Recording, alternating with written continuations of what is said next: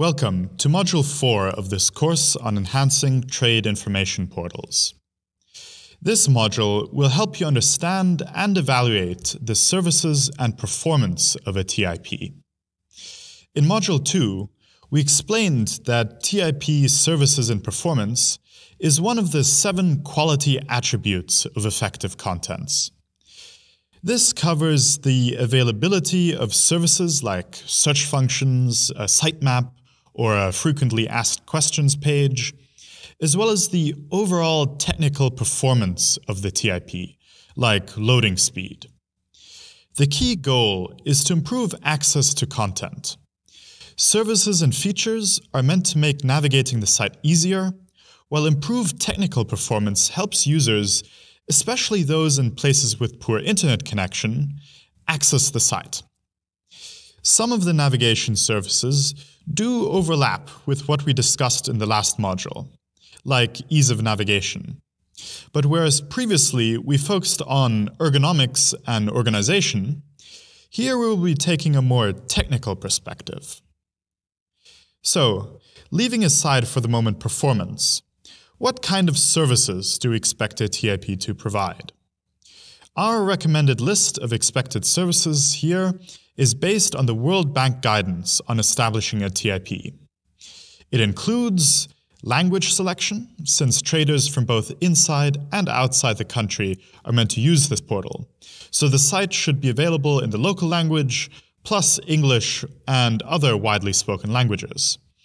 A sitemap or other site navigation tools, a help desk where traders can make inquiries, a frequently asked questions FAQ page, information about commonly used terminology, and a search function, where procedures can be searched by inputting descriptions of goods or corresponding HS codes, and import or export location. Other search functions may also be useful, such as for regulatory procedures or legal documents.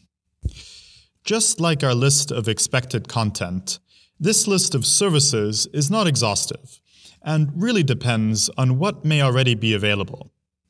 Some of the services, like a search function for legal documents, may be more efficiently presented as a separate portal covering all the country's legal documents, with the TIP then only linking to that portal, depending upon how user friendly that portal already is from the standpoint of targeted TIP users. You may also note that some of the services, like the FAQ and information about commonly used terminology, also include their own content, which may be evaluated for how easy they are to understand, just as we discussed in the last module. But in this module, we will focus on evaluating the usefulness of the services themselves as a basis for making improvements. Now, how do we measure the ease of use, usefulness, and technical performance of these services? Like in the previous module, we recommend using expert reviews based on some concrete scenarios undertaken by a team of users slash evaluators who then combine their results. However, unlike the very qualitative aspects we discussed in the last module, here, there is some opportunity to apply more concrete criteria. For example, when evaluating the language selection, the team could agree ahead of time to give the TIP a score of 5 if it has 5 or more languages, 4 if it has 4 languages, and so on, all the way down to a 1 if it is only available in the TIP's local language. So we're using a numeric measure to assign our scores that is agreed upon by all the evaluators. Further guidance on making these assessments and some suggested scoring matrices are provided in Annex A of the ESCAP ITD Guide on Enhancing Trade Information Portals. Note, however, that we cannot entirely escape the need for subjective evaluation. For example, a TIP might have many languages to choose from, but the quality of translations might not be that high, or the TIP might only be partially translated. Also, some languages are more useful than others, like the local language, English, and maybe the language of major trading partners. Or for the help desk, the easiest way to reply quickly is to provide short answers with little informational content, which is not very good either. Even with more concrete criteria, these scores we are assigning are very much proxies, designed to highlight areas for improvement. Therefore, in addition to having more concrete criteria, it is also worth evaluating each service the TIP provides based on the evaluator's reasonable judgment, exactly as we discussed in the previous module. Here, the criteria is usefulness, or simply how useful the service actually is. We go through exactly the same process, specify a clear scenario from the user's perspective, score each service between 0 and 5, where 5 is best and 0 is non-existent, compare with some benchmark TIPs, and finally compare and average the scores given by different evaluators. Now, in addition, we also want to evaluate the technical performance of the TIP. A TIP needs to be accessible to traders all around the world, to traders on different platforms, who might be using different browsers or have weaker internet access. Especially for micro, small, and medium enterprises in developing countries, the TIP should not be too data intensive, as such enterprises may lack access to high speed, stable internet. Additionally, the affordability and user friendliness of smartphones have made them increasingly popular devices for business transactions, especially for smaller traders around the world. Being mobile friendly could therefore be a valuable feature for TIPs, aiming to promote inclusive growth. This gives us several performance indicators with which to assess the TIP. Web page loading speed can be easily measured using tools like webpagetest.org. For example, here we are testing Thailand's TIP as of early 2021. Be careful when selecting a server from which to run this test, as it can radically change your results. Again, we have some pre-agreed scoring matrix, like 5 points if the website takes less than 5 seconds to load, a score 4 if it takes between 6 and 15 seconds, 3 if it takes 16 to 25 seconds, and so on, all the way to 0 if it takes more than 45 seconds to load. In this example, from a server in Dulles, USA, Thailand's portal takes 9.2 seconds to load. So using the scoring matrix suggested in Annex A of the ESCAP ITD guide, we would give it a score of 4. Or another example.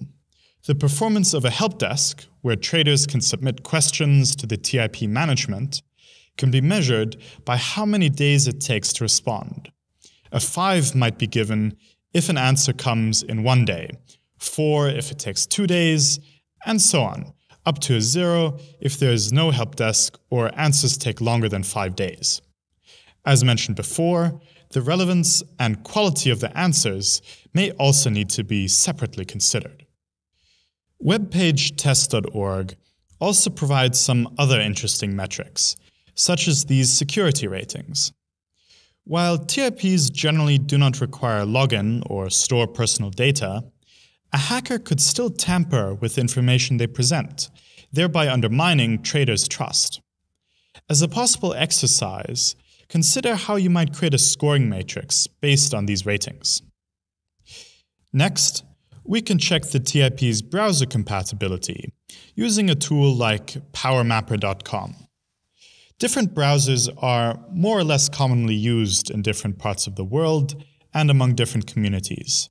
So to maximize accessibility, we really want our TIP to work on as many major browsers as possible. PowerMapper rates a website's compatibility with several major browsers. Here we might say that if a TIP is given a green rating on all browsers, it gets a 5.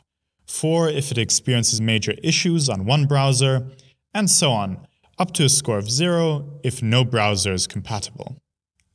So again, inputting Thailand's TIP as of 2021, we find that it is missing content on one browser while working on all others. You can choose how to treat partially compatible browsers. In the matrix we are using, only serious issues are considered, meaning that Thailand's TIP receives a score of 4. Let us also take a look at mobile support. Mobile adoption has been very high, especially among younger generations and micro businesses, many of which are solely dependent on mobile devices to make business decisions. Fortunately, the mobile friendliness of a TIP is quite easy to test using a site like searchgoogle.com, the results of which can be treated just like the results from powermapper.com or webpagetest.org. Again, you will find a suggested scoring matrix and some further guidance in Annex A of the ESCAP ITD Guide on Enhancing Trade Information Portals. In this module, we have discussed how to evaluate, using both concrete criteria and reasonable judgment, TIP services that help users find the content they are looking for.